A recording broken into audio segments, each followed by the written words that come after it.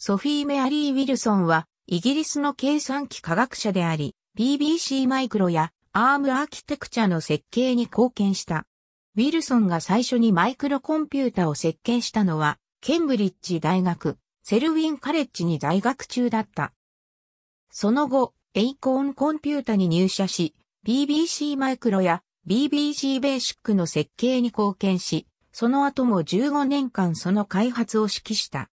1983年には初期のリスクマイクロプロセッサである ARM の設計に着手し、2年後に生産を開始した。ARM は組み込みシステムにおいて一般的となり、現在ではスマートフォンで最も広く使われているプロセッサとなっている。ウィルソンは現在、テクノロジーコングロマリットであるブロードコムで取締役を務めている。2011年にはマキシマム PCC のザ15モーストインポータントウィメインテックヒストリーと題した記事で第8位に挙げられている。2019年には大英帝国勲章コマンダーを受章した。ウィルソンはヨークシャー州リーズで生まれた。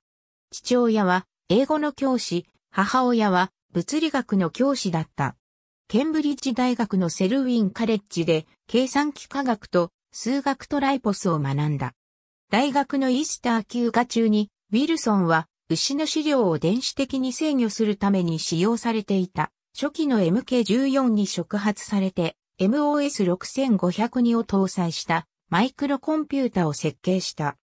スロットマシンでライターの火花を使ったイカ様を防ぐ装置を設計した後、1978年にエーコーンコンピュータに入社した。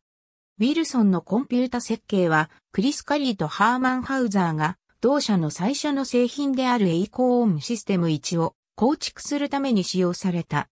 1981年7月、ウィルソンはエイコーンアトムのベーシックをエイコーンプロトン用に拡張した。このプロトンにより、エイコーンは英国放送協会の野心的なコンピュータ、教育プロジェクトの契約を勝ち取ることができた。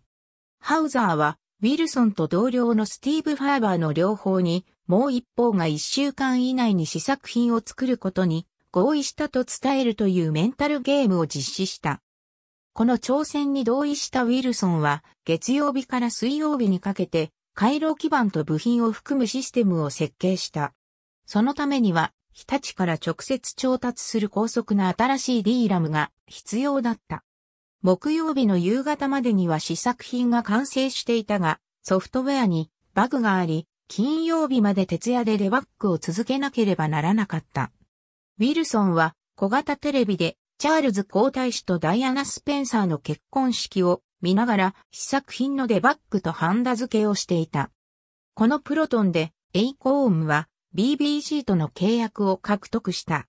BBC のテレビ放送でプロトンが初登場した時、ウィルソンはファーバーと共にソフトウェアの修正が必要な場合に備えてスタジオの裏で待機していた。ウィルソンは後に、このイベントを大衆が、これがどのように動作するかを知りたいと思った時に、プログラムする方法を見せて教えることができたユニークな瞬間だったと述べている。プロトンは BBC ミクロとなり、そのベーシックは BBC ベーシックへと発展し、その後15年間ウィルソンが開発を指揮した。プログラミングだけでなく、ウィルソンはマニュアルや技術使用書も書いた。ウィルソンはコミュニケーションが成功を収めるための重要な要素であることを認識していた。1983年10月、ウィルソンは最初のリスクプロセッサの一つであるエイコーンリスク、マシンの命令セットの設計を開始した。ARM1 は1985年4月26日に初出荷された。このプロセッサタイプは後に最も成功した IP コアとなり、2012年現在では95%のスマートフォンで使用されている。ウィルソンはエイコーンのコンピュータ用のビデオアーキテクチャであるエイコーンリプレイを設計した。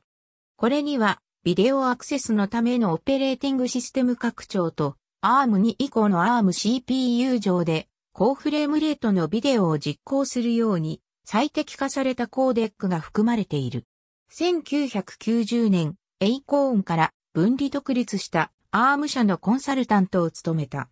アームの開発に関する公開プレゼンテーションを行う、ウィルソン。エイコーンコンピュータの解体以降、ウィルソンはそこで行われた仕事についての講演を行っている。現在はブロードコムのケンブリッジにあるイギリスオフィスで IC 設計のディレクターを務めている。ウィルソンはブロードコムのファイアパスプロセッサのチーフアーキテクトを務めていた。ファイアパスはエーコーンコンピュータで開発されたものであるが、2000年にブロードコムに買収された。ウィルソンはマキシマム PCC の2011年の The 15 Most Important Women in Tech History と題した記事で第8位にランクインしている。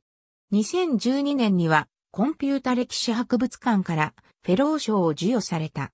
受賞理由はスティーブ・ファーバーと共に BBC マイクロと ARM プロセッサーアーキテクチャの研究を行ったことであった。2013年、ウィルソンは王立協会フェローに選出された。2014年、アームプロセッサの重要な発明が評価されて、Lovie Lifetime Achievement Award を受賞した。2016年には母校であるセルウィンカレッジの名誉フェローになった。2019年には大英帝国勲章コマンダーを受賞した。ウィルソンは1994年に男性から女性への性別変更を受けた。写真を趣味とし、また、地元の演劇グループに所属し、衣装やセットを担当し、多くの作品に出演している。2009年の BBC のテレビドラマ、マイクロメンは、BBC ミクロと ZX スペクトラムの開発を扱ったストーリーである。若き日のウィルソンをステファン・バトラーが演じており、ウィルソン自身もパブの女将として亀を出演している。ありがとうございます。